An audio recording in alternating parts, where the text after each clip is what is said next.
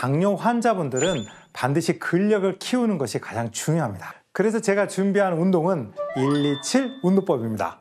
상체 운동은 1의 비율로 복근 운동을 2의 비율, 하체 운동을 7의 비율로 한다는 뜻입니다.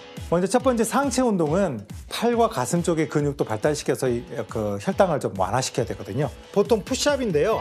여성들이 남성들이 잘 할 수 있어도 상체에 집중하고 가슴, 팔에 집중을 해야 되기 때문에 무릎을 꿇고 하시면 좋습니다. 그리고 엉덩이 빼지 말고요. 엉덩이하고 상체를 일직선으로 이렇게 만든 상태에서 자, 자기 팔을 이렇게 내려갑니다. 그리고 올라오고 운동 효과를 극대화하기 위해 무릎을 꿇어주는 것이 더 좋다는 것. 내려가 볼까요? 하나, 쭉 내려가셨다가 올라오시고 둘, 둘, 하나, 어, 잘했습니다. 일어나시고 셋.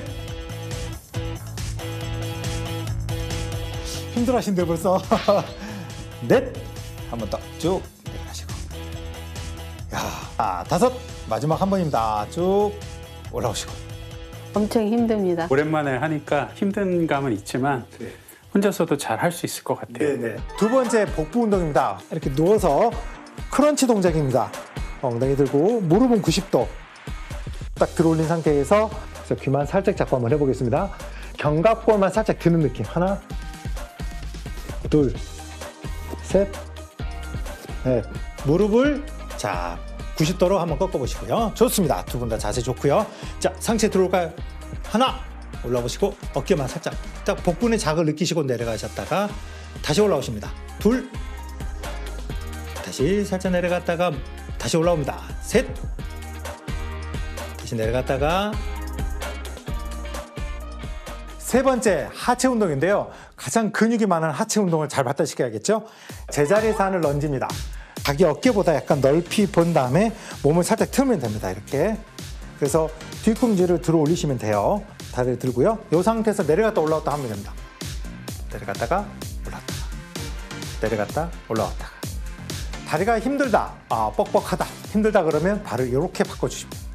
그럼 다시 하나, 둘, 이 상태로 쭉 앉습니다. 시작. 하나. 쉬시고. 둘. 꾸준한 운동은 한국인이 가장 많이 걸리는 제2형 당뇨병을 예방하는 효과도 있다는 사실. 다섯. 쉬시고. 각 동작마다 처음에 하실 때 횟수는 사람에 따라 되게 다르거든요. 한 다섯 번 했는데 힘드신 분들도 있고 열 번 했을 때 힘드신 분들이 계세요.